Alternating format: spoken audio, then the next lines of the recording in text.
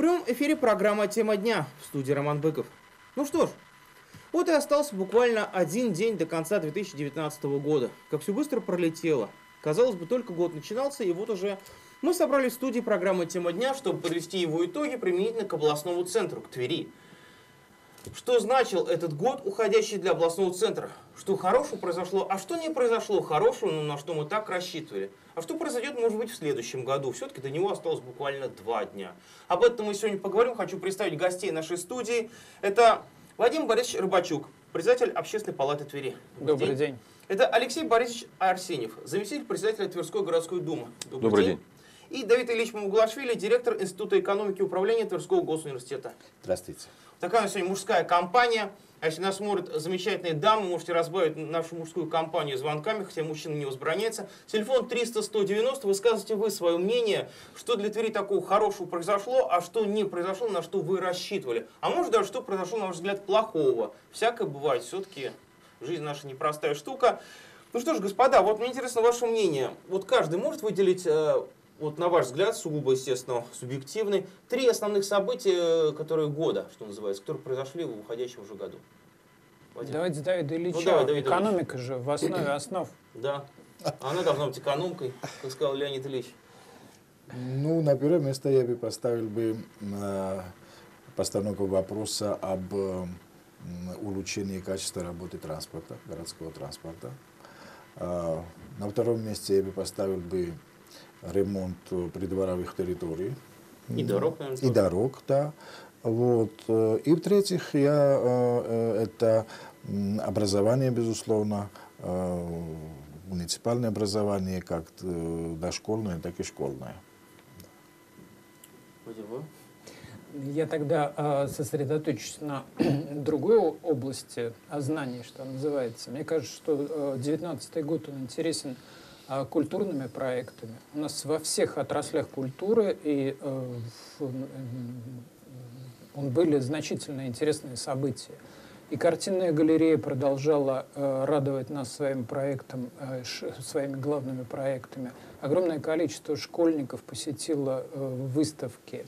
Спортсмены, э, Центр НКО проводил значительные мероприятия по формированию гражданского общества. И сегодня можно сказать, что все эти акции, а, все эти мероприятия, они говорят о том, что культура, спорт, молодежное волонтерское движение в городе Твери развиваются очень активно. Я надеюсь, что 2020 год он будет не менее активным в этом плане. Ваше мнение? Ну, я, наверное, все-таки как представитель Думы скажу о том, что... Сам председатель, между да, прочим зампредседателя Думы. А наша Дума отметила 25-летний юбилей. Это очень тоже такое знаменательное событие. Четверть века. Да, четверть века. Конечно же, это выделение, а, наверное, колоссальных средств на ремонт дорог и а, общественных пространств.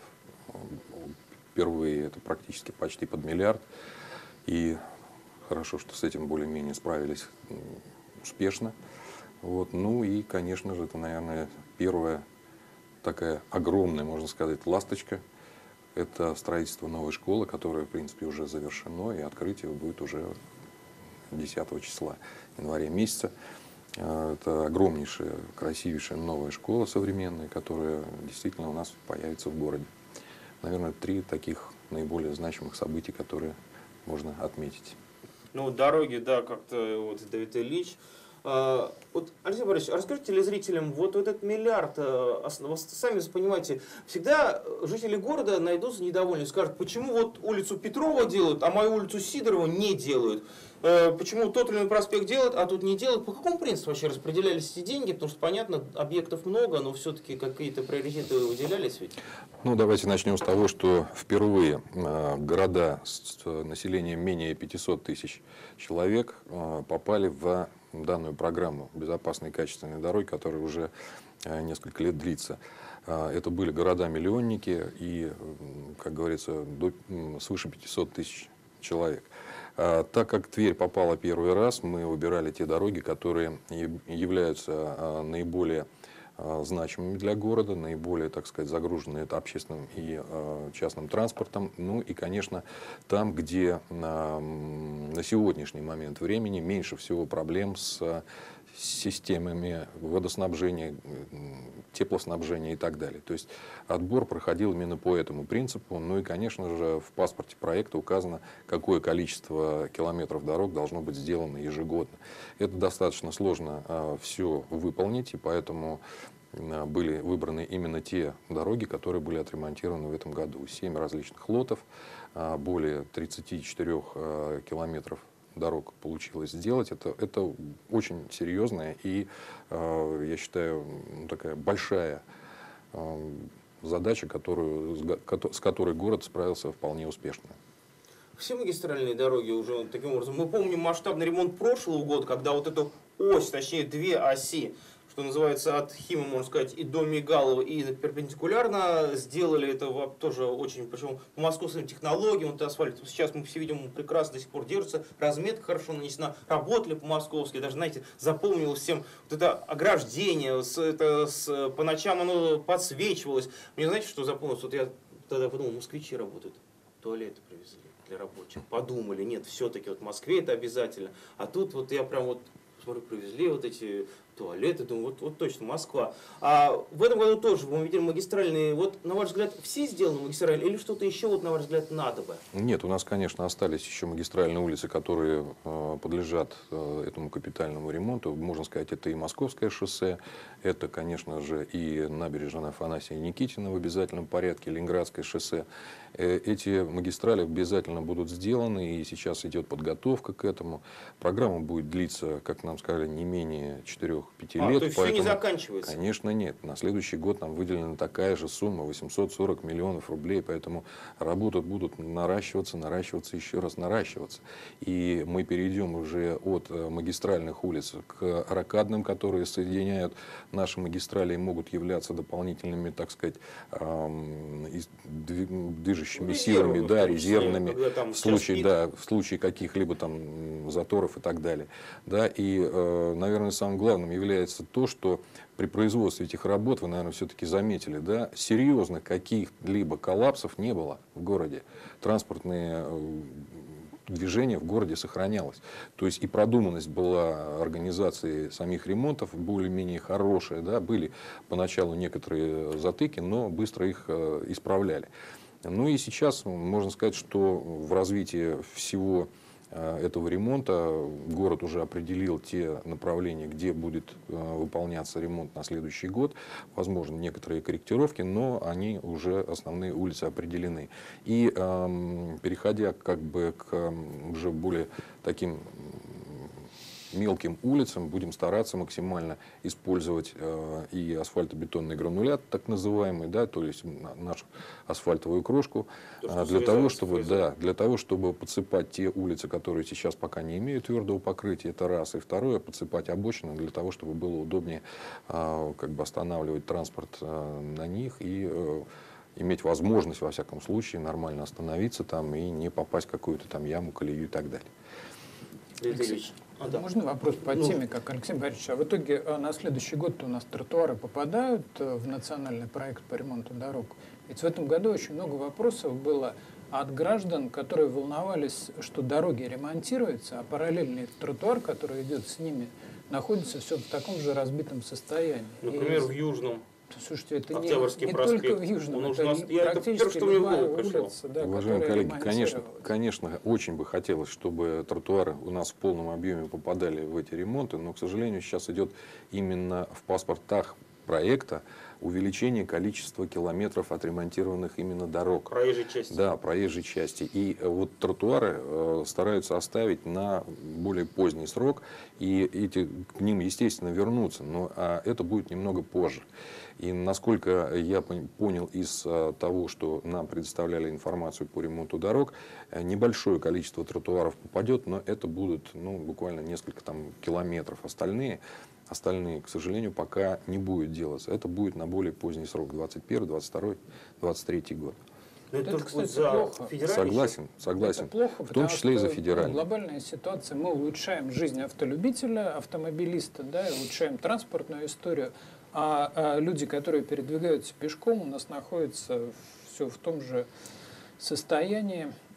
Наверное, надо все-таки будет обращаться, давайте как-то совместно подумаем, обращаться и к правительству области, и опять писать э, федеральную программу нацпроекта о том, что необходимо все-таки включать при ремонте дорог и ремонт тротуара. А у нас сейчас необходимо включить рекламу, буквально 3 минуты. Дорогие телезрители, не переключайтесь, звоните. Мы с вами обсуждаем итоги города для Твери. Что вы считаете важным событием уходящего года? 300-190, а пока реклама.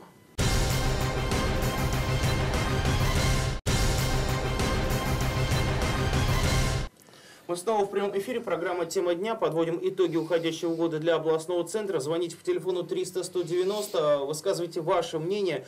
Мы сейчас э, говорим о том, как прошла кампания по ремонту дорог. Давид Ильич, а вот вы, как человек, который ездит каждый день, вы не чиновник, вы хотя и важную должность занимаете, но вы простой гражданин в этом плане. Ваше впечатление, ваше мнение? Вы же на машине передвигаетесь своей. Да. Соответственно, да. вы каждую колдовину чувствуете, что называется, всеми фибрами вашей души, Чувствую. потому что ваша машина стучит чувствую и, э, соответственно, у меня есть своя реакция на это. Ну, э, что хочу сказать по этому поводу. Во-первых, я очень рад, что эту тему подняли, действительно, э, чрезвычайно важная для города проблема. Но при этом еще хочу сказать, что последние годы работа делается все лучше и лучше. Причем, э, смотрите, э, всегда бюджет предусматривает определенные достаточно солидные деньги для того, чтобы продолжить эту работу. И хочу похвалить еще городские власти тем, что применяются новые технологии. И, безусловно, когда э, работа делается эффективно, удлиняется срок службы эм, продукта, продукции, в данном случае дороги, и, соответственно, это экономит денег. А если перевести уже данный вопрос на более глобальный значит, диалог, э, мы с коллегами как-то считали, что чтобы город привести э, с точки зрения дорожного покрытия и удобства для жильцов нашего города на уровень среднеевропейского города, примерно 50 миллиардов рублей – по самым скромным подсчетам надо вложить. Это с сегодняшним темпом 50 лет. Ну, каждый год, грубо говоря, миллиард, грубо говоря, выделяется. А, и это, я думаю, правильная цифра. И мы э, должны стремиться именно к этому. Сначала определить, э, то есть уточнить действительно, какая э, сумма нам нужна, а потом уже работать э, для того, чтобы это, эти деньги получились. И здесь я не могу еще не затронуть еще один вопрос, и многие экономисты тверские поднимают этот вопрос. Это отношение, межбюджетного отношения города и области. В последнее время мы видим наоборот, даже не улучшение этого вопроса, а даже ухудшение этого вопроса. Да, знаем, что э, с 1 января 2020 года многие местные налоги уйдут не в городскую казну, а уйдет э, в федеральный бюджет, региональный, федеральный, и так потом надо ждать обратно, пока эти деньги вернутся. Соответственно, если эти вопросы были бы решены, то мы могли бы больше денег направить на улучшение инфраструктуры города, в том числе и дорожного покрытия. И э, тем более, что наш город, безусловно, э, основной донор для нашего бюджета. То есть вопросов много, эти вопросы требуют обсуждения, и в один день эти вопросы решить достаточно сложно. Леонид Ильич, а вот вы сказали, что следующего года уйдут. А это федерация так решила? А это все это изменения, которые были приняты Государственной Думой э, в этом году. Хотя, э, если вы за, за, затронули этот вопрос, я не могу удержаться и, соответственно, не сказать. Смотрите, вы все прекрасно знаете по докладу Алексея Кудрина, что государственный бюджет не освоил 1 триллион рублей в этом году.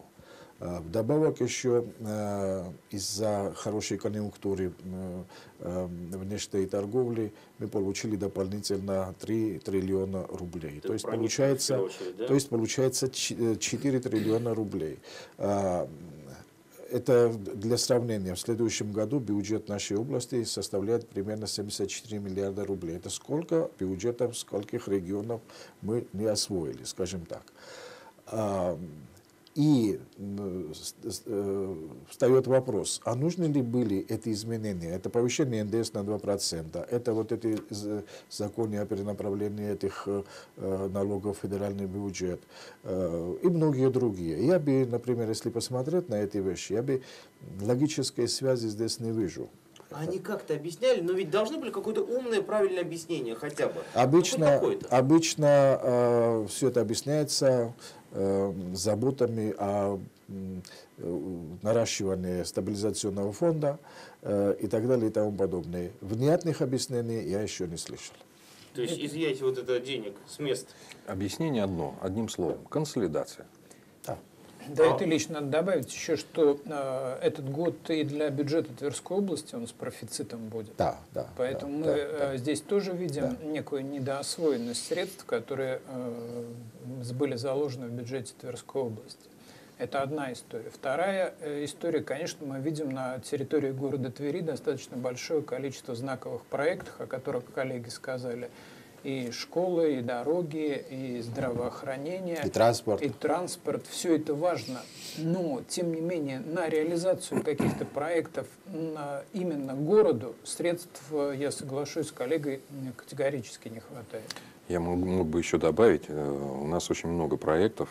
Мы детский сад, школу построили. На их содержание ежегодно будет уходить порядка 45 миллионов рублей дополнительно. Это важный А, момент. Мало а, построить так как- сад. Да, а еще так как- содержать надо. А конечно. так как это все ложится именно на плечи муниципалитета, все это содержание денежных средств становится ну, катастрофически мало. И мы не можем сейчас э, реально говорить о том, что инфраструктура, которую нам в обязательном порядке необходимо развивать в городе, ну, например, та же самая система ливневой канализации, которая, ну, во-первых, частично уже э, где-то неисправна, где-то требует серьезных капитальных вложений, мы не можем на нее направить дополнительных денежных средств, потому что их просто физически нет. И, по сути дела, с каждым годом а, свои собственные доходы у города будут снижаться, если не будет изменения вот этого межбюджетного, а, так сказать, межбюджетных отношений. И в конечном итоге мы будем все больше и больше зависеть и просить денег у области на выполнение, а, соответственно, своих социальных обязательств, которые 131 федеральным законом на город наложены. Ну, социальные обязательства, наверное, никто э, не снизит, и вопрос там невыполнения их, конечно, не стоит. Проблема развития. Нам же надо думать и о малом и среднем предпринимательстве, стимулировать э, экономику именно города Твери, несмотря на то, что она донор, как Давид Ильич сказал, но тем не менее э, необходимо, чтобы там появлялись новые и новые проекты, которые могли бы генерировать э, тот же самый НДФЛ хотя бы. Да. Я хочу опять-таки продолжить эту и добавить эту тему, что, смотрите, ни в коем случае, то есть мы сначала мы наблюдаем вот что, что э, э, в муниципалитетах, городах, на местах денег нет, они ограничены, а в стране денег много. И эти деньги должны быть действительно э, очень грамотно и правильно использоваться. Капитал не должен лежать мертвым, мертвым грузом. Их омертвлять нельзя. Их надо направить и на инфраструктуру, и на бизнес, как совершенно правильно было сказано Владимиром Борисовичем, а, чтобы вложенный в нынешнем, э, нынешних условиях один рубль, чтобы завтра давал хотя бы полтора рубля, хотя бы два рубля. Надо развиваться, надо каким-нибудь образом принять такие решения и таким образом эти деньги направить, чтобы а, мы реально наблюдали оживление экономики. А сейчас мы этого, к сожалению, не наблюдаем. Но мне всё- тоже все равно интересно, вот так решили Дума, да, а какое они имеют право без согласия муниципалитета, муниципалитета изымать у него деньги? А как же самоуправление Роман, мы местное? же им делегировали полномочия. Ну, Что? Значит, они имеют такое Конечно, право. имеют. А да. это конституционно вообще? Это Этого я нормально? не могу сказать. Конечно, я не, конституционно. конституци- Почему не конституционалист. Ну как-то, а как же, я говорю, местное самоуправление? Получается, хорошо, сейчас Госдума может решить, что у нас, допустим, отменяются выборы депутатов и главы города, ну, назначаются теперь. Если проголосуют, да? то да, наверное. То есть за нас они могут решить? За вот тверичан, неважно, саратовцев, там, калининградцев, там, севастопольцев и так далее. А это вас удивляет? Ну как-то немножко, все как говорят, наша демократия вроде бы в стране. Просто вы сказали среднеевропейский город, вот, ну вы много же были за границей. Да. Неужели там такая ситуация, что сидят в Мюнхене, вот, к примеру, или в Денвере в США, к примеру, в Эдмонтоне в Канаде, и ждут, вот выделят им сегодня миллиард долларов на ремонт дорог или не выделят? Выделят, потому что у самого Эдмонтона нет денег, к примеру, там, или опять-таки у Денвера, или чего угодно, Чикаго. Вот. То есть у них тоже такая ситуация, что они сидят и молятся, когда же вот федеральный центр Я не знаю, как они там сидят и ждут, но я точно знаю, что если им обещаны деньги, эти деньги они получают. Я по дорожному строительству не могу сказать, но ездили по образованию могу э, вам сопоставить, Мгм. допустим, как говорится, все сравнение. Да? А, Допустим, эм, техникум, а, сейчас им мы тоже называем колледжем, да? Ну да. А, где обучаются, допустим, около э, тысячу студентов, тысячу учащихся. А В Соединенных Штатах в среднем бюджет такого техникума 1 миллиард долларов. А сколько у нас бюджет города?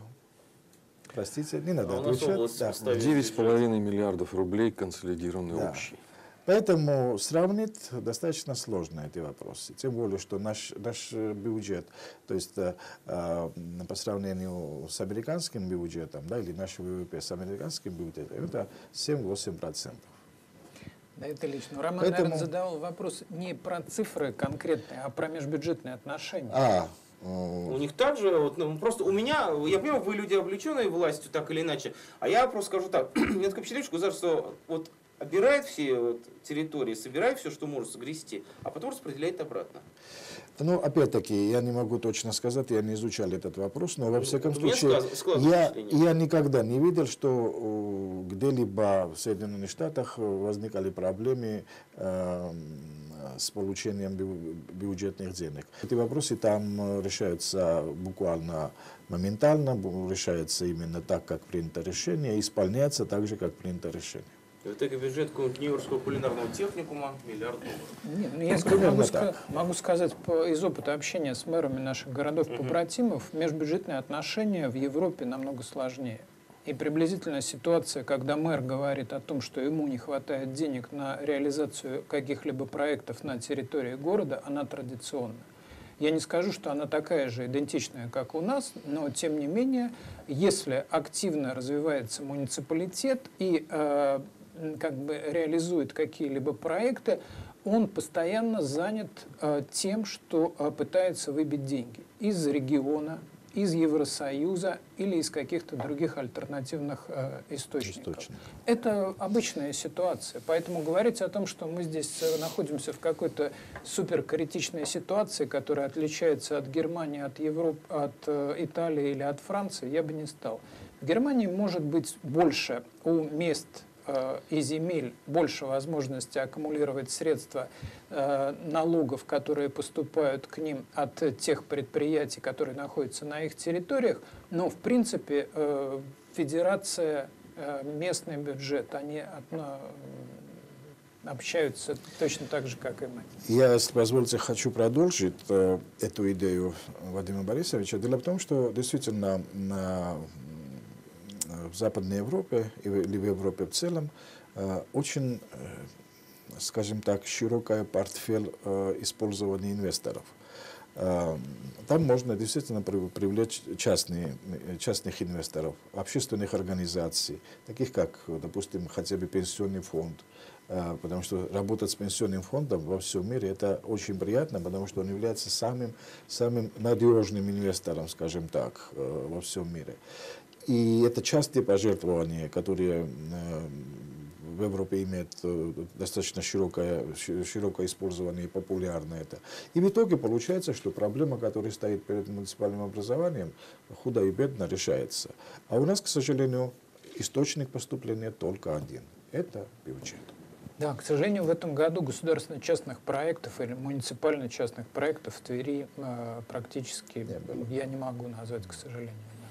Ну, потому что и законодательство в, в окончательном своем, так сказать, виде еще полностью не сформировано по государственно-частному партнерству. Очень сложно на это идут предприниматели, потому что боятся а, именно того, что а, закладывая определенные деньги в бюджет, а, те же самые муниципалитеты могут просто-напросто их не получить. А, собираемость налогов такая достаточно интересная, да, хотя мы доводим ее уже практически до 94-96%. Да, это нормально, но вопрос заключается в том, что а, все деньги, которые идут с федерации, все деньги, которые идут к нам с региона, они практически полностью окрашены. Что значит окрашены? То есть они под конкретные проекты, под конкретные цели. Мы не можем их самопроизвольно взять и потратить на ту же самую ливневую канализацию, да, на развитие чего-то еще. И в результате получается так, что у муниципалитета, кроме долгов, да, которые мы реально уже, ну, без них никуда, они есть практически у всех муниципалитетов. Я общался, ну, десятка, три-четыре городов однозначно, и у каждого такие же проблемы абсолютно. Денег на своих собственных доходов не хватает на то, чтобы закрыть социальные обязательства, обязательства, которые наложены 131 федеральным законом, они вынуждены кредитоваться для того, чтобы это все полностью выполнять. Даже э, рассчитаться с подрядчиками под конец года все равно им необходимы денежные средства. Ну и в конечном итоге из-за того, что муниципалитет становится менее надежным партнером, никто из э, предпринимателей, в общем-то, не стремится пойти на частно-государственное партнерство для того, чтобы сделать какой-то инвестиционный проект. Вот Я хочу продолжить свое возвращение рассуждения по этому поводу. А, смотрите, а, дело в том, что мы, наша экономика находится под санкционным давлением. А, иностранного инвестора ожидать не приходится. Соответственно, надо искать собственного источника финансирования, собственного инвестора. А, при этом не могу сказать, что их в России нет. Но потому что тот факт, что отток капитала ежемесячно не, уменьшается, а увеличивается, говорит о том, что в принципе деньги есть. Но эти люди, эти инвесторы боятся вложить эти деньги у нас. Вот как раз та тема, о которой мы сейчас говорим.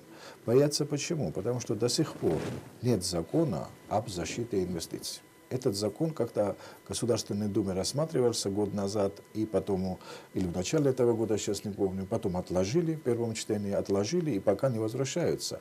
Я боюсь, что основные постулаты этого закона надо вообще отменить, и этот закон надо написать заново, потому что этот закон не то что защищает инвестора, дает какие-то гарантии, а наоборот еще больше возлагает на него ответственность, и, и он э, свои права там вообще не видит. Поэтому такой закон очень э, необходим в нашей стране, чтобы хотя бы свой инвестор, свой капитал, который мы получаем благодаря работе крупных предприятий, не уходила за рубежом. Из таких позитивных событий детская областная больница. Господа, вот вы согласны с тем, что сдвинулось действительно дело с мертвой точки? Это коллеги лучше знают. Я думаю, да, потому что уже заложены деньги на выполнение проектных работ и всего остального. Кластер будет очень большой в районе нашей существующей сейчас областной больницы, да, там и перинатальный центр, и там будет еще и детская областная больница.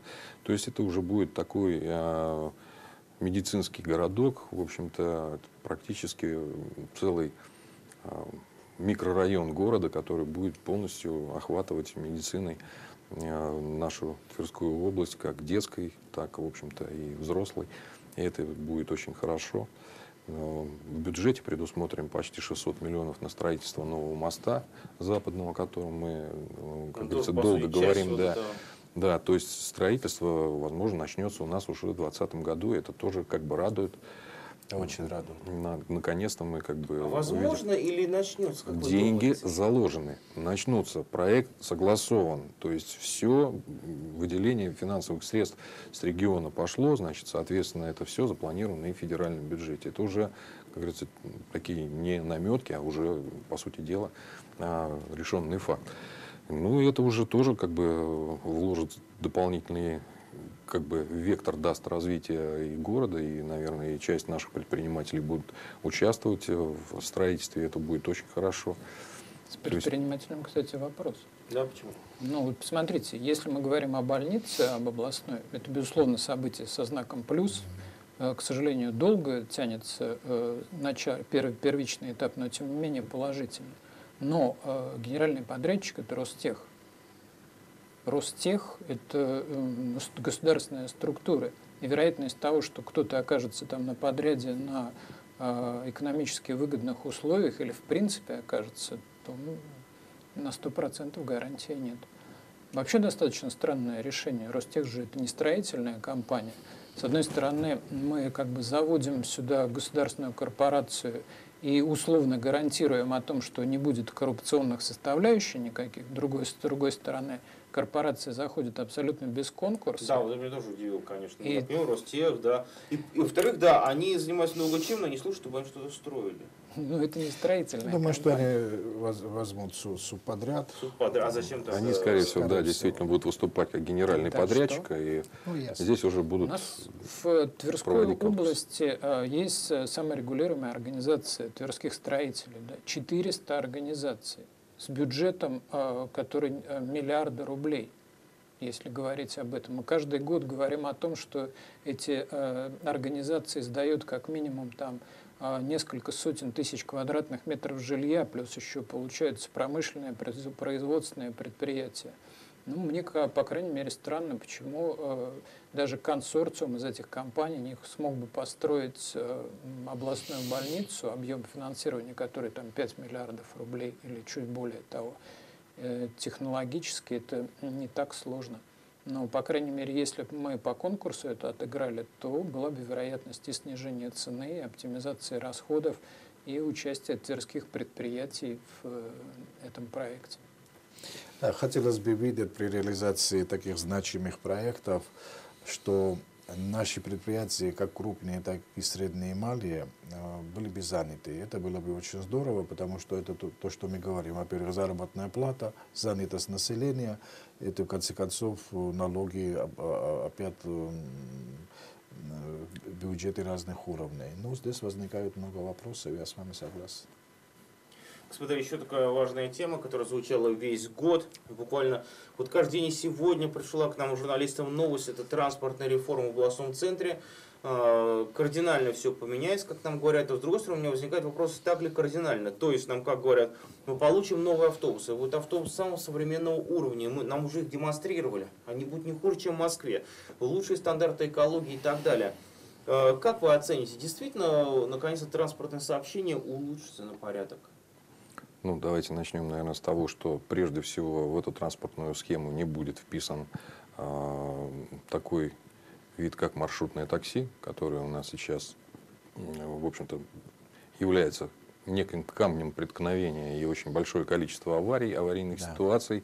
И плюс к этому хаотичность движения, попытка догнать, перегнать друг друга на всех наших магистральных и магистральных улицах.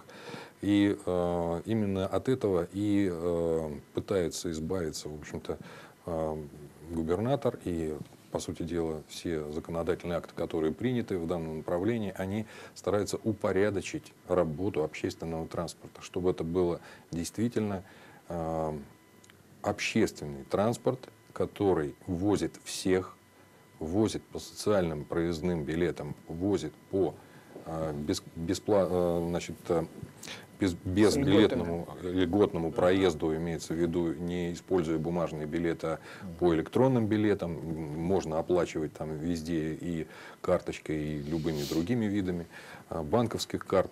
В общем, это именно должно привести к тому, что маршрутная сеть будет урегулирована полностью, что все маршруты будут ходить строго по расписанию, что ты будешь четко знать, что через 5 минут приедет автобус, если написано, что он должен идти через 15 минут, значит он приедет через 5 минут и будет здесь стоять. В, именно в это время и э, транспортная схема будет, в общем-то, отрегулирована полностью. А, по тем э, как бы задумкам по тем маршрутам, которые были нам представлены в Тверскую городскую думу. Мы сделали несколько замечаний а, в Минтранс о том, что есть определенные участки города, которые не, не оказались не охваченными. Да, сейчас идет проработка изменения ряда там маршрутов или добавления еще новых. Но во всяком случае использование крупного транспорта в виде общественного – это а, тенденция, которая есть во всем мире, и она должна, в общем-то, и развиваться и у нас в городе Твери. Ну, Алексей Борисович, давайте, правда, поясним все-таки телезрителям, потому что даже я до сих пор не пойму. Вот я сегодня перед эфиром изучал список маршрутов. Там как? Сначала новый, там, 42-й, это, допустим, понятно, я сразу воображаю вот этот красивый синий автобус, брендированный, как сейчас говорят. Угу покрашены единую окраску, брендированные. На советское время тоже были брендированные, и карусы желтые теперь. Вот, но это ладно. Хорошо. Но потом я вижу список, которых маршрутов мы все прекрасно знаем. 222. 227 Рябеева глобус и так далее. Это те маршруты, 207, к примеру, которым я езжу, я вот как, как пассажир говорю. Это сейчас те самые маршрутки. Вы вот, может быть, поясните, вот что Вместо маршрута будет есть, автобус. Вот. Самое просто и тоже не поймут. Авто, вместо То есть это не будет вот этот э, микроавтобус, там, Нет. Рено, к примеру, или Газель? Нет, марш, э, мар, э, маршруты будут оснащены автобусами большого и среднего, среднего. класса. То есть это будут практически либо большие, длинные до 15 метров ну, такие да, автобусы, либо это будут более короткими, до 10 метров автобусы. Но это будут автобусы. Принадлежащие вот этим Принадлежащим, структурам группам. Да. Это не будет ИП Кто, там, кстати, Иванов. оператор-то этого проекта? Итоги выбрали оператора? Ну, депутаты нас... выбрали, я помню, было даже на заседании. Нет, не выбрали. Мы депутаты ну, не выбирали. Вам это Мин, ми, Министерство транспорта организовало две компании, которые одна э, заниматься будет, в общем-то, обеспечением всего этого вопроса, проведением конкурсных процедур.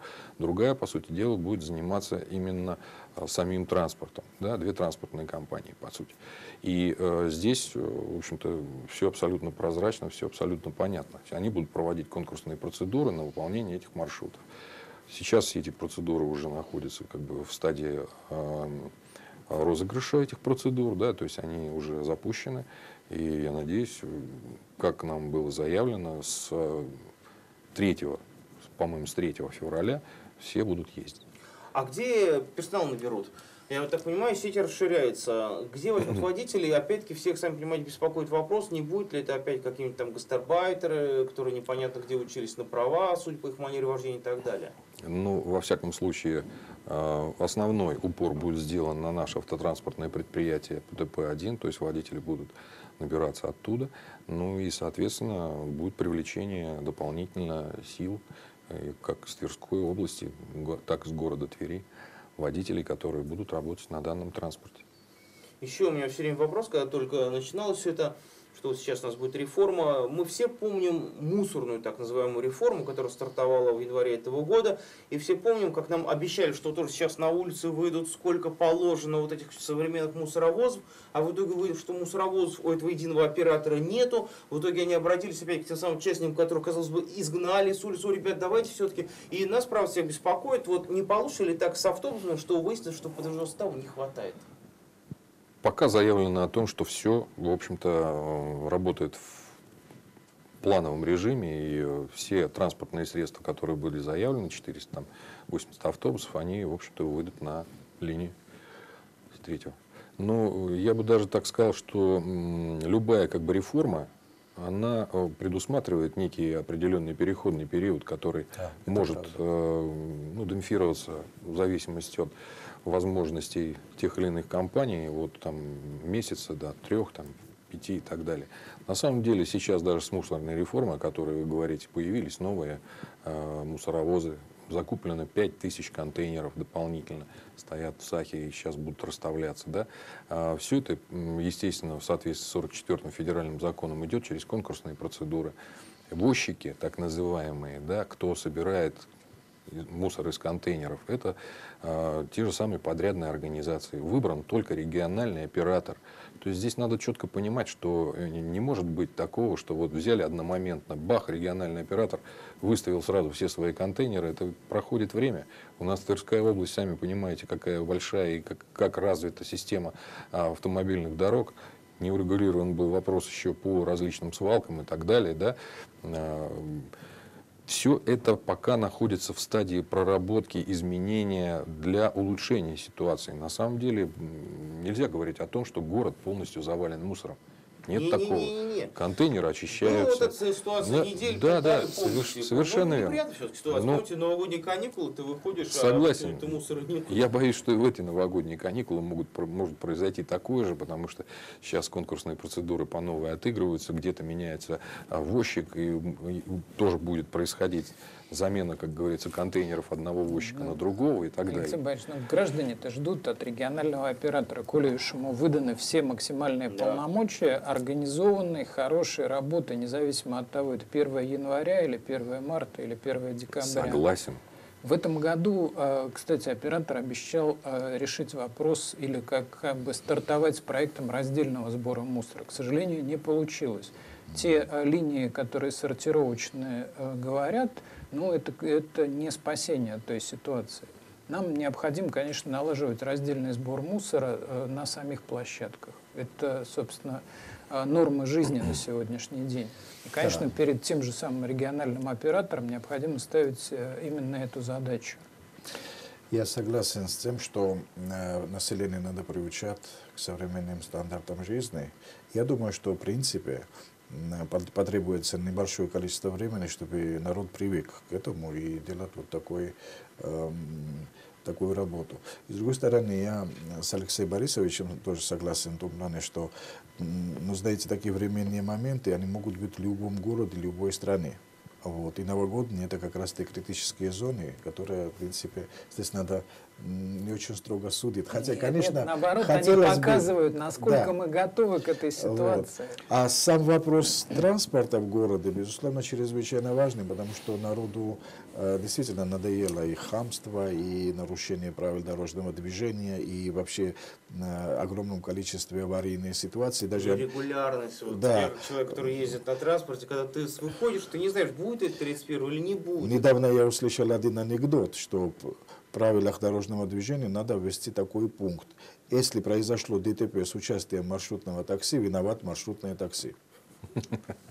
Ну, А, Это как раз говорит о том, что порядок в этом плане надо навести. Ну, я желаю успехов городу и власти города, чтобы этот вопрос был решен, конечно. властям, наверное, не города, а все-таки Тверской области, потому что все полномочия в по перевозкам общественным транспортом, включая электрический транспорт, с 20 числа декабря месяца находятся, в общем-то, э, у правительства Тверской области.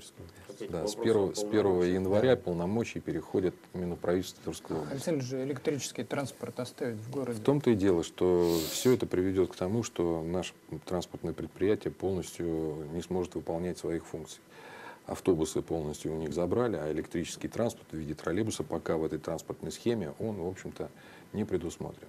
И в результате предприятие останется, а зарабатывать предприятие не будет. Результат предприятие нужно будет банкротить. Поэтому мы сейчас э, приняли решение о переводе данного условия. предприятия в ООО с целью создания определенных условий для развития всей остальной системы транспорта Тверской области. Не, ну Так говоря, троллейбус-то, извини, Роман, Троллейбус, так понимаю, останется? нет, не останется, но губернатор на своей итоговой пресс-конференции сказал, что тоже, я так понимаю, он договорился то ли с Вебом, то ли с кем-то из таких структур, это, что Я они профинансируют слышал, да. восстановление Тверского трамвая, что Тверь единственным городом стал не миллионником, который вошел в эту программу федеральную, и что, то есть вот губернатор вот нам всем журналистам сказал, трамвай будет Тверской, это он, он точно сказал, это не планы, это не какие-то прожекты, это уже, я так понимаю, конкретно договорено, что вот выделены суммы, и минимум один маршрут, минимум вот этот самый, который основной наш из Заволжья и до вокзала, он точно будет, минимум. Это точно губернатор всем сказал четко, я это услышал. Как будет тоже,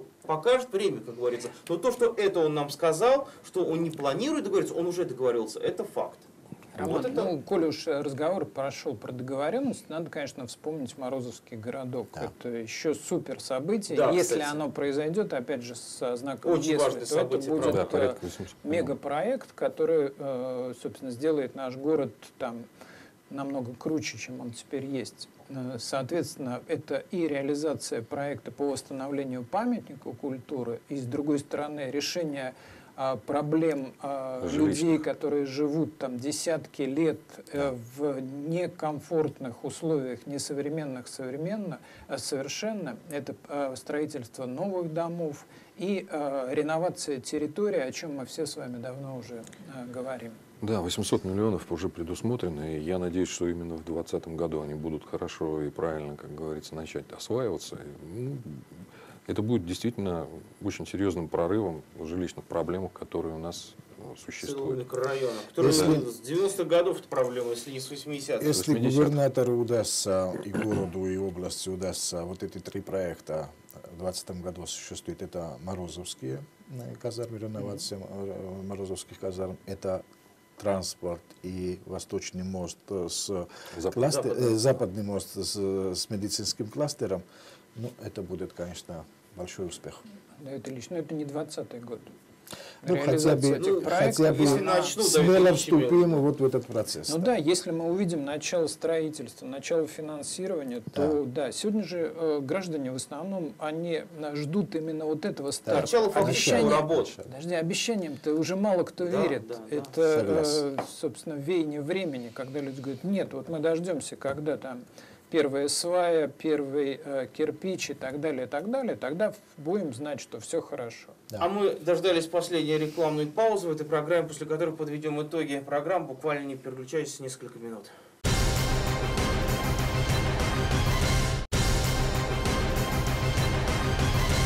Что ж, программа «Тема дня». Мы подводим итоги уходящего года, что они значили для областного центра, события, которые так или иначе произошли. Господа, у нас осталось меньше четырех минут. Э, Теперь, со- соответственно, что бы пожелали, каких решений проблем в будущем году? Вот понятно, да, детская областная, наверное, уже будет строиться и так далее, но вот мосты, как раз в перерыв тут дорогие зрители пообщались. Э, Какие еще мосты нужны городу, кроме западного? Надеемся, с ним все более в порядке, допустим. Ну, я бы хотел сказать не мосты, а эстакады. Э, Эстакады нужны через Октябрьскую железную дорогу, и не одна. Желательно, Вроде бы Крупский мост делают. Ну, делают, но его будут делать еще почти год, и это мы с Следующий вами год губернатор сказал до конца мая. Я сам до конца мая. Ну, посмотрим. Посмотрим. Дело в том, что эти работы будут основные, да, которые позволят там открыть хотя бы одну-две э, линии, но его еще будут до- доводить до ума долго. Но нам э, этого недостаточно. К сожалению, у нас есть проблемы и с Горбатым мостом, Южный который тоже сам да, перегружен. перегружен южный однозначно. проспекта. И э, необходимо как-то стараться разгрузить эту часть. И в районе Пролетарки необходим как минимум еще один дополнительный мост через э, Октябрьскую железную дорогу для того, чтобы создать нормальный трафик движения э, не только по центральной части города, да, и, но и в обход. Тем более, что в случае каких-либо заторов на федеральной трассе весь транспорт с этой федеральной трассы пойдет к нам в город. И вы сами прекрасно понимаете, о чем идет речь. Мы, по-моему, были такие случаи, Да. когда через э, Да. Тверской проспект, Советскую улицу, фуры хотели. Ваня Борисович, что бы вы пожелали решения еще каких проблем? Мне хотелось бы немного даже э, приземлиться. Мне кажется, что городу не хватает общественных пространств. И те проекты, которые у нас сегодня в городе реализуются, они требуют этих общественных пространств. А Нам необходимо решить все-таки окончательно с концепцией развития Парка Победы. Глобальная ситуация, тем более 75 лет в победе в Великой Отечественной войне, она сама за себя говорит. Необходимо э, закончить э, проект по ландшафтному парку Тьмака, аллея славы в Южном. И вообще в каждом небольшом микрорайоне должны быть эти общественные пространства, где люди могли бы общаться, могли бы гулять, дети, собаки и так далее, и так далее. То есть это принципиально важный момент. И э, интересен он еще тем, что он консолидирует местное сообщество. Люди выходят на улицы, это сегодня принципиально важно, чтобы люди не замыкались, особенно для старшего поколения, которое э, может там дефицит общения испытывать, сидя в своих квартирах. А здесь, если будет инфраструктура общественных пространств хорошая, то это потянет за собой э, консолидацию общества. Ильич, у нас меньше минуты. Что бы вы пожелали? Может, это по научной части? Может, наконец, когда-то университетский городок у нас появится? А это тема отдельного разговора. Отдельного Давайте долга. мы приземлимся, Хорошо, как приземлимся, Борисович не будем ска- улетать. сказал. Окей. Дело в том, что я хотел бы видеть совершенно на другом уровне развития малого и среднего бизнеса в нашем регионе. Это колоссальная проблема. В последнее время мы видим, видим только там закрылись, тут закрылись. э, Тренд, к сож- к сожалению, снижается. Хотелось бы, чтобы они, они могут э, играть очень важную роль в экономике и региона, и в стране в целом. Средний малый бизнес – это вот та основа, которая как раз будет формировать средний класс. Ну что ж, это была программа «Тема дня». Мы подводили итоги, год заканчивается. Ну что ж, дорогие телезрители, земляки, Поздравляю с наступающим Новым годом. Все вам желаем, чтобы у вас какие-то произошли позитивные события. В целом в нашем городе, в областном центре тоже произошло вот все то, о чем мы говорили, чтобы действительно дело сдвинулось с мертвой точки. Может, какие-то приятные сюрпризы опять произошли, как то же самое возрождение Мороз казарм. Год назад мы еще об этом не мечтали, а тут вроде бы как реализует проект. Так что с наступающим Новым годом, дорогие друзья по эфиру. Спасибо. Вас тоже с наступающим, всего вам самого Спасибо. лучшего. Спасибо, Спасибо. что нашли время. Нашим жителям тоже с наступающим годом. Новым годом. Здоровья всем и всего самого доброго. До свидания. С вами была программа «Тема дня». Роман Быков.